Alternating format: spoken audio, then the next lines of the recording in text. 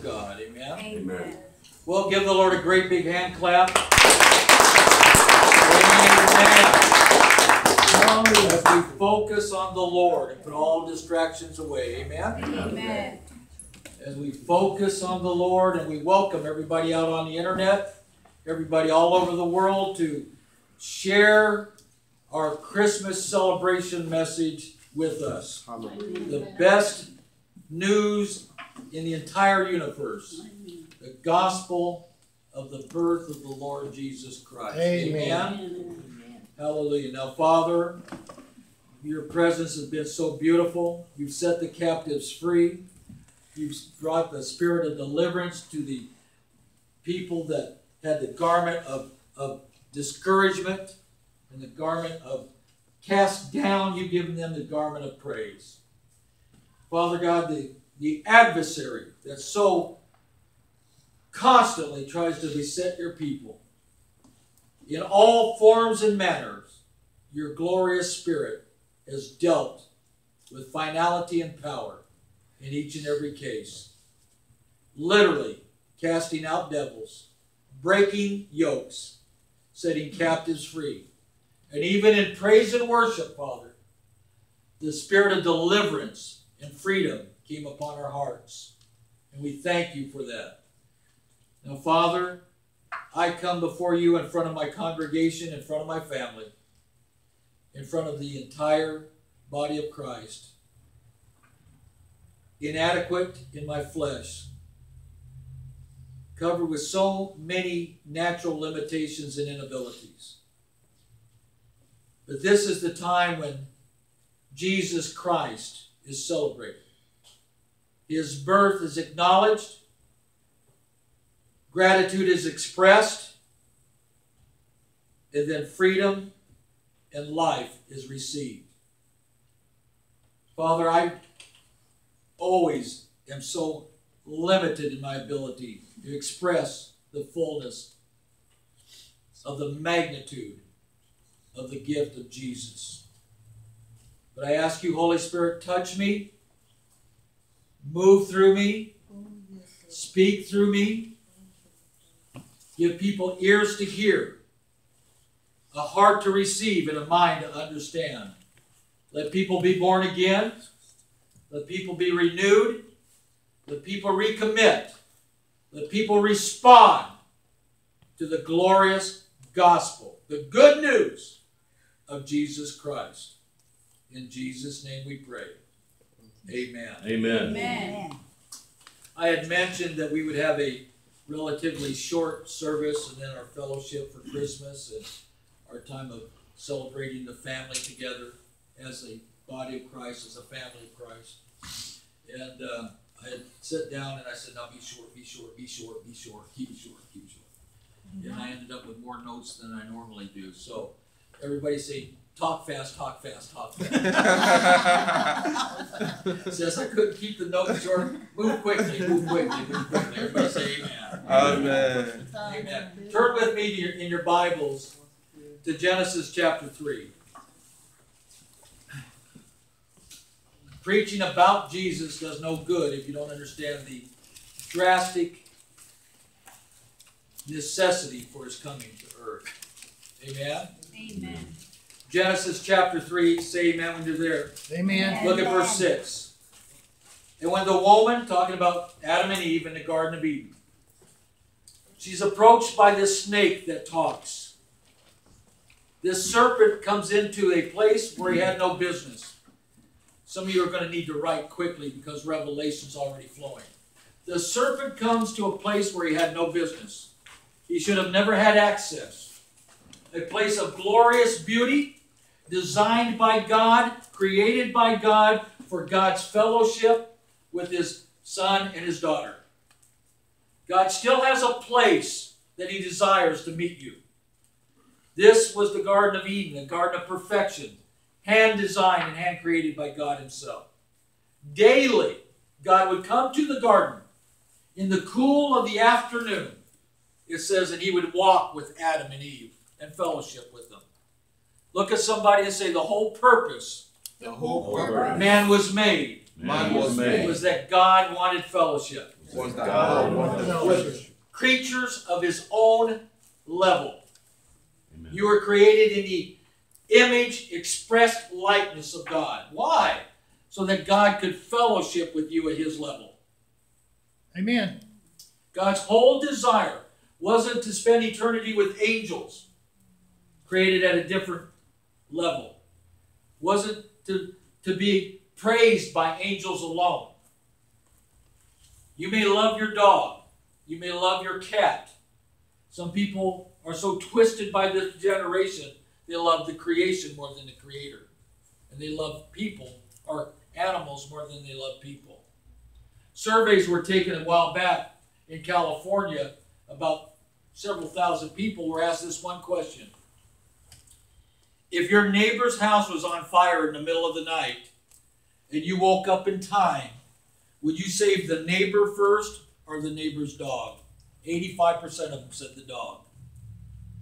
That's how twisted mankind has become without Christ. Come on, brother. I don't care how much you love your dog, it cannot talk to you Yes, sir. at your level. It can wag its tail, it can express affection, but it cannot express the affection and the fellowship at a human level. God was not satisfied with fellowship with angels. He wanted to create a family that he could expressly spend time with. Why do I have to pray? You missed a whole part of prayer. It's communion. It's time with God. Amen. He wants you to exist, to be in His presence and talk with Him, to love on you, to talk to you, to comfort you, to guide you, to work with you, to help you as a child, as a person that can express love, affection, intellect, and conversation at God's level. And that's exactly what took place in the Garden of Eden. A perfect environment. Make notes real quickly. Being at the right place doesn't mean you'll live in victory. Mm. Come on. Well, if this would change, if that would change, if my condition would change, if my wife would change. He had he had the showboat wife. She was perfect. Amen. He had the trophy wife. He had the perfect environment. Everything was perfect, and all hell came in and destroyed it all. Your environment's not what defeats you, it's what you allow.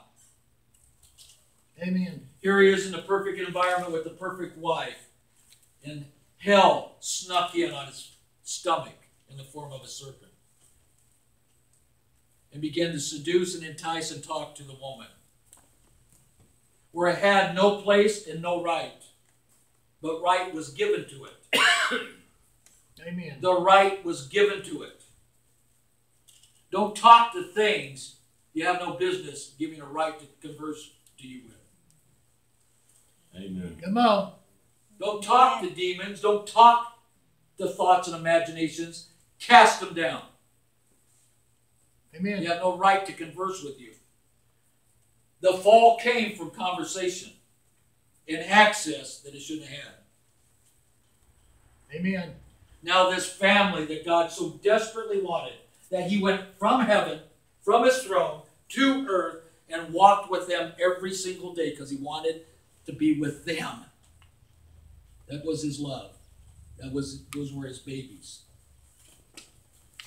It was all destroyed by access that shouldn't have been, by conversations that should never have been allowed. That brought them to a place where they turned their back on pure love to embrace an imagination. Come on. Hallelujah. Did you hear me? Yes.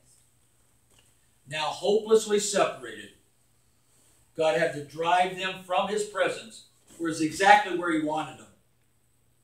That's why the garden was created. He wants you in His presence. That was His whole goal. You and God, loving harmony, loving fellowship. Now, sin hopelessly destroyed that. And the God that lovingly made them had to, because of that love, drive them out of his presence. Because absolute pure holiness would be would destroy sin if it was allowed to stay in his presence. Come on. They didn't dabble a little bit with failure. They became totally, completely, hopelessly separated from the God that made them and wanted to love them. That was the state of all humanity forever if no action was taken. The first Adam made all sinners. But thank God, Father addressed the serpent here and said, There's a child coming, a son's going to be given to humanity, and he is going to stomp your head in the dirt and reverse this curse that you have started. Amen. In the middle of their sin, God released the answer. Listen to me. In the middle of their transgression, God was moving to get humanity back to Him. Amen. Well, I've sinned, God's moving. I failed, God's moving. I've completely, totally destroyed everything, God's moving. Hallelujah. Amen. When you can't see, when you don't feel, when you don't know, God's moving. Hallelujah. Did you hear me? Yes, sir. Amen. You know, I was preaching in Norway, and I thought there was a bunch of unsanctified Christians. I thought, God, what a bunch of filthy mouthed people. Until somebody finally explained to me, well, that's the name for that. I go, oh my God, really? Yes. Right here, God said, from this day forward, Satan, you're going to crawl in the dust and the dirt of the earth. You're going to eat dirt. This may sound crude, but you know what the Norwegian word for dirt is? Shit. They go, boy, you got some shit on your leg. They meant dust from getting out of the car. I thought, dude, work on your sanctification, for God's sake. That's the name for dirt in Nor- Norwegian. Shit. So from this day forward, Satan, you're going to eat shit the rest of your life. Hallelujah. Praise Oh, I like God. that. Hallelujah. I like that. English. Hallelujah. Praise Amen. God. Amen. Hallelujah. That won't sound too sanctified, but I got that's power in Norwegian. Hallelujah. Amen. Hhallelujah. Hallelujah. Praise Hallelujah. Hallelujah. Now look at Isaiah chapter seven. Well, you better edit. You better you better edit that out of your video. No, I ain't editing that out of video. Amen. That's exactly what he needs to eat, no matter what language you want, want to use. Come on, brother. Do you have to leave? Did you get cold? Or just scheduled? Amen. Turn to Isaiah chapter seven with me. Amen. Grab some food on your way out. Amen. Isaiah chapter seven. Everybody say we love you. We love I you. love you. Hallelujah. Grab your grab your gifts. We'll take care of that next week. For the camera, Pastor Tony and Pastor Teresa have to leave. He's he, he's scheduled to work. For law enforcement and emergency responders and stuff, they don't get the luxury. They give us the luxury of being able to be safe Amen. and to be able to enjoy the goodness of God without being molested, they have to sacrifice for us. And we thank God for that. Amen. Amen. Isaiah chapter 7. Are you there? Amen. like for you to look with me at verse 14. If you don't know, the, the prophet Isaiah is called the mess- messianic prophet. He prophesied more about the Messiah than any other prophet. He was quoted by Jesus than more than any other prophet. Study it out. The messianic, the, the prophet of the Messiah. This prophet spoke more about Jesus than any other prophet documented in the Bible.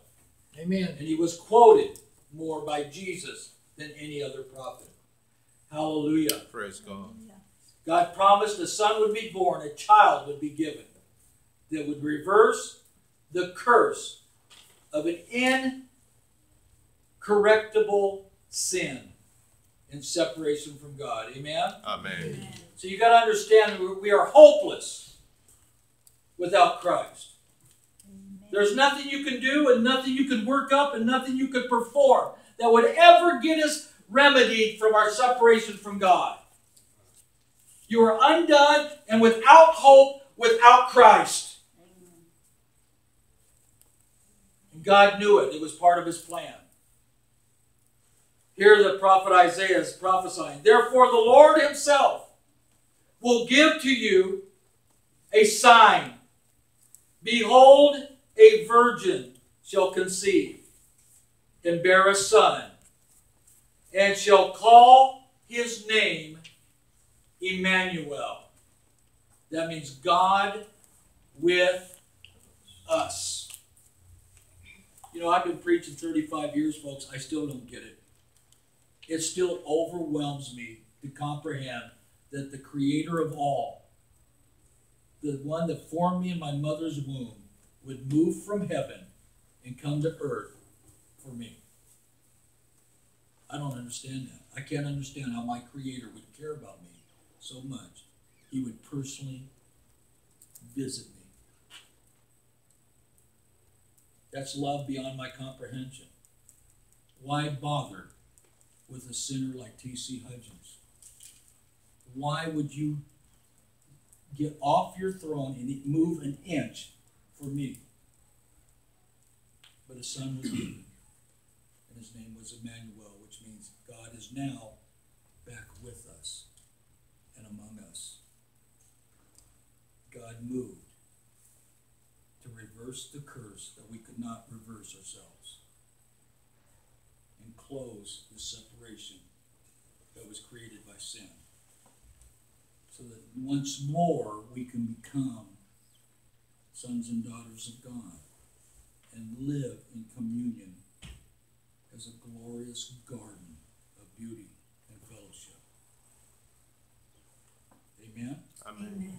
And if you're not expressing that in your life with Christ, you don't understand the fullness of God's love yet. Amen. Amen? Amen. Now look over at Isaiah chapter 9. Isaiah chapter 9. Oh, hallelujah. Praise God. I want you to look with me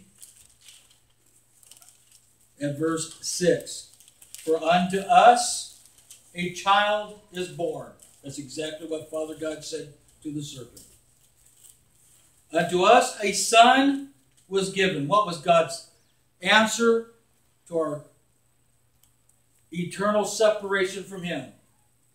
A son was given. Hallelujah. God gave God to us. Hallelujah. And the government shall be upon his shoulders, and his name shall be called Wonderful, Counselor, Mighty God, the Everlasting Father, the Prince of Peace. Of the increase of his government and peace there shall be no end. Upon the throne of David and upon his kingdom, to order it and to establish it with judgment and with justice from henceforth, even forever. The zeal, the heart cry, the earnestness of God will perform this. Hallelujah. Hallelujah. Praise God. Man didn't do it.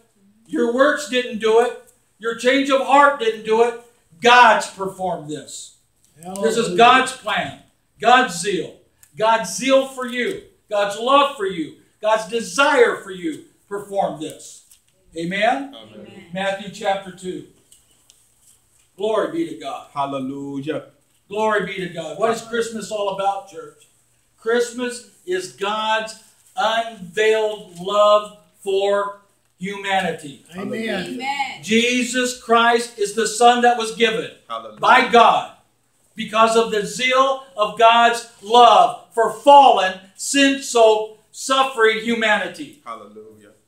He zealously desires us back Hallelujah. in the middle of your failures, faults, falls, and sins. Hallelujah. God's zeal gave us a son. God's zealous love performed a gift that will change everything Amen. forever.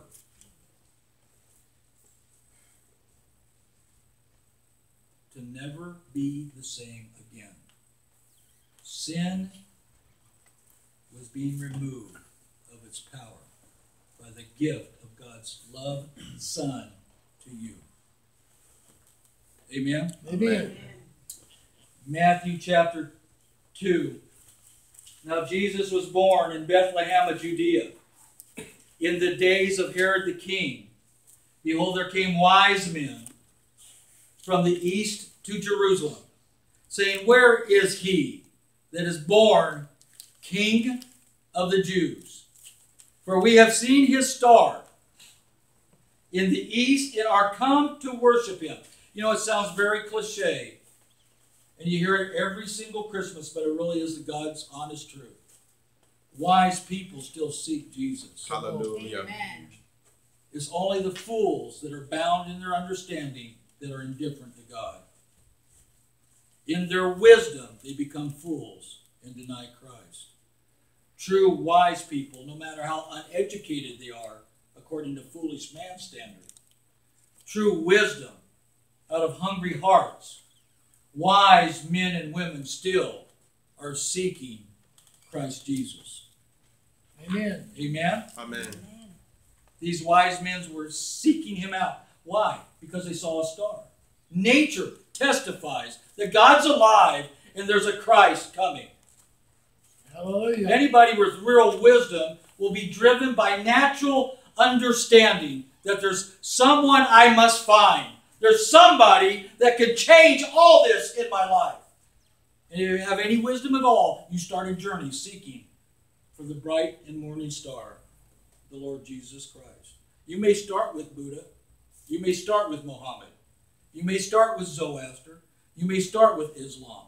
But if you're actually seeking the truth with wisdom, driving a hunger in your heart, it will bring you to Christ.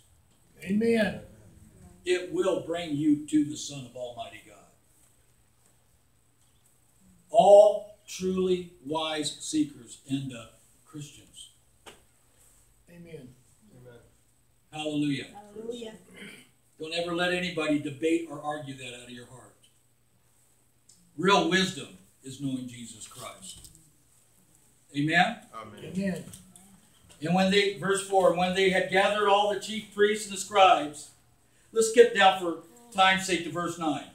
When they heard the king, uh, the king threatened them, said, well, actually, what he said, he said, I want to worship him too, find him. But the Holy Ghost was smarter than the king. When they had heard the king, they departed, and lo, the star which they saw in the east went before them. Somebody say, God's always on the move. God's always on the move. Till it came and stood where their young child was. When they saw the star, they rejoiced with exceeding joy. And when they were come into the house, they saw the young child with Mary, his mother, and fell down and what? Worship. Worshipped him. And when they had opened their treasures, they presented unto him gifts gold, frankincense, and myrrh. Hallelujah. Praise God. What do wise people do? They find Jesus. And what do they do when they find Jesus? They immediately begin a relationship of worship and giving. Amen. Man. Hallelujah. Praise God. Hallelujah. Praise God. When you know Jesus, you'll be a worshiper. When you know Jesus, you'll be a giver. When you know Jesus, the first expression of knowing Him and finding Him is to want to give back to Him. Amen. Amen? And then that brings me to the most critical part of all Christmas messages. This is where I always fall short. This is where I always get nervous. This is where I always feel inferior, flawed, and unable to articulate the goodness of God. How many of you are married? How many of you got a boyfriend or girlfriend? How many of you every year go through? You may not, I do. I always come to a dead end, an inadequacy, a, a lack of perceiving. I can never figure out what to get Darlene. what do I give her? Uh, I think of that, it seems inadequate. I think of that, it seems inadequate. I think of this, it doesn't seem. What do you give God?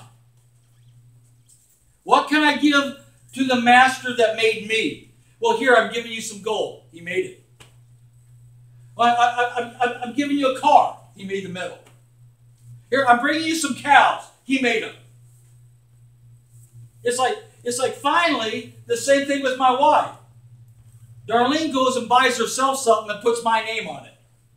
So I can say I gave it to her. Because she knows what she wants. But then when she buys something, who supplied it? she takes my money, buys herself a gift, and says I gave it to her. So when we bring something to God, who supplied it? God did. It's completely inadequate. The only thing we can truly give Him is what? Praise and worship and thanksgiving. And then even when you do out of a grateful heart, it's so inadequate. Holy are you, Lord. Glorious are you, Lord. Powerful are you, Lord. It- it's not enough.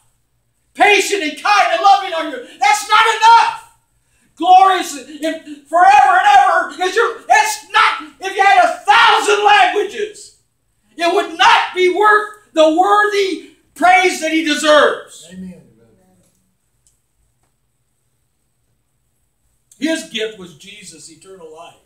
Amen. for eternal death, righteousness for unrighteousness, life for death, heaven for hell. Amen. What can I give back to him that he didn't make, that he didn't create, that the, the source wasn't him? Worship and praise. Out of a heart of gratitude and love and honor and respect. And even that's not enough for what he gave me first, the Lord Jesus Christ. Many of you know the time I was caught up in the heaven and I'm standing next to Jesus and I started instantly praising out of my spirit. And it's the only expression I knew is it came out of every fiber of my being. And I could not praise him enough or loud enough or with enough volume that he was worthy of. What can I give Jesus? You know what? I met Darlene. This is kind of like opening up my closet day. Her after I was flat on my back, and God is just picking me back up and restoring me. I said, I don't have any money. I don't have a career. I don't even have a ministry right now. The only thing I can give you, Darlene, is my heart. But you have 100% of it, without reserve, without reservation, and forever.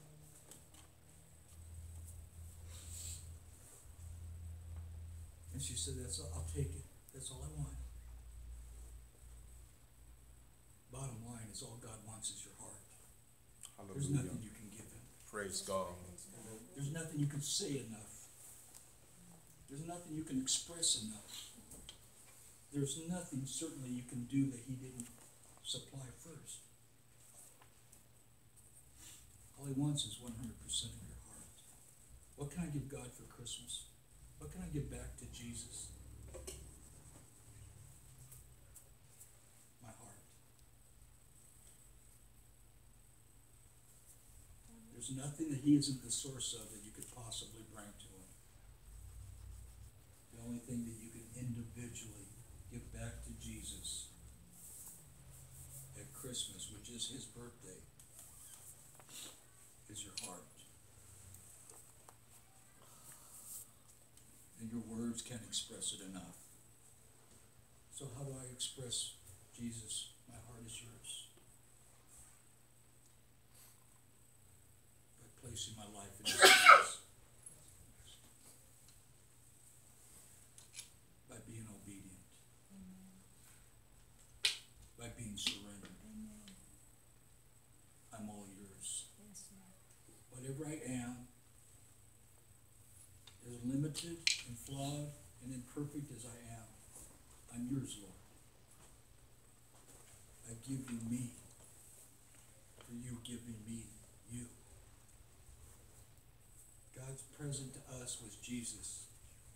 Our present to him is us. Surrendered, wholly given over heart of attitude, praise, worship, and thanksgiving.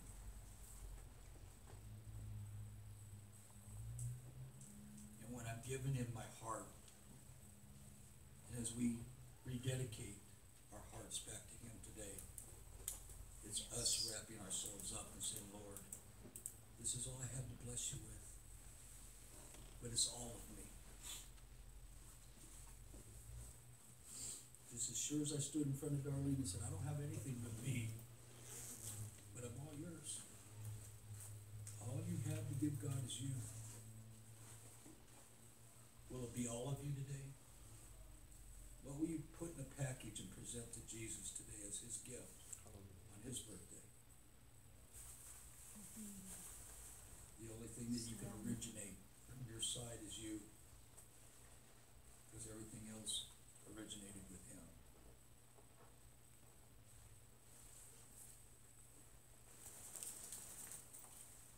How many of us would say, Father, I need to, I want to bless you with me, but not part of me, not some of me, but my whole heart. Take it. Take me. I present me to you. The only gift I can truly give you is a life in your hands.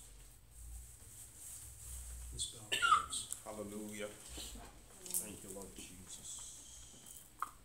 I could cover many, many, many more scriptures, but I believe the Holy Spirit has gotten across to us what he wanted to say. The reason for this season is the gift of God for our sins, the Lord Jesus Christ. The reason for this season is our gift back to God, his lordship over our lives. How many in this church, how many out on the internet would say, I want, to, I want to give that gift to Jesus today? We can't give him gold. We can't give him silver. We can't praise him enough. We can't worship him enough. But I can give him a surrendered, broken, and contrite spirit surrendered into his hands life. I can give him all of me without any more reservation, with no more holding back, with no more limitations. I can put me in the package of surrender and give it to him in a worshiping heart of thanksgiving. How many of us today would raise our hands and say, I want to fully surrender to Christ like never before? I want to give my life 100% as a gift to him that I'll never take back. Raise your hands. Uh, out there on the internet, if that's you, raise your hands with us as we come before the Lord. This is Christmas. The reason for the season is God's gift to us lost, sinful, suffering, separated humanity. That now in Christ we can be born again and become the righteousness of God and have that Adamic fellowship face to face with our Father in heaven. Our only gift we can bring to Jesus for his birthday is two things a surrendered life in all of my heart and what I do to others. For what I've done to others, we have truly done to him. So as we give gifts to one another, we're giving gifts to Jesus if we do it in the Spirit and not in covetousness. If we do it out of love for the body of Christ, we're doing it unto we do it separated from the carnality of the world and in a heart of thanksgiving, we are blessing Jesus with gifts. But before that can even be accepted, the greatest gift back to Jesus is the life he purchased. He paid for it. He made new. If you're out there and you've never been born again, it's time to give your heart to Jesus Christ and make him your Lord and Savior. For this is the year, this is the season that we celebrate. God came to us, rescued us, and gave us new life. Hold all the packages. Everybody sit still. for everybody on the internet and everybody in this place with our hands raised. Pray with me. Father God, I come to you in Jesus' name. I come to you in Jesus' name. Father, Father, all I have to give, all I have to give, all I can offer to you all I can offer to you is me, is me, my heart, my heart, right now right now and right here. and right here. Lord Jesus Christ, Lord Jesus Christ, I give you I give you anew anew my heart, my heart, all of me, all of me, with no reservations, with no reservation, with no hesitation. no hesitation. All that I am, All that I, I give to you. I give to you, This life, this life, I give to you. I give to you. Be honored Be honored. and be blessed and be blessed. by the only thing I have to give you by the only My thing heart. can my heart in my life. and my life. I love you, Lord. I love you, Lord. I'm in your hands. I'm in your hands. I'm all yours. I'm all yours. Make me a gift to you Make me a gift to you and to your kingdom. and to your kingdom. In Jesus' name we pray. In Jesus' name we pray. Amen. Amen. Amen. Hallelujah. Praise God.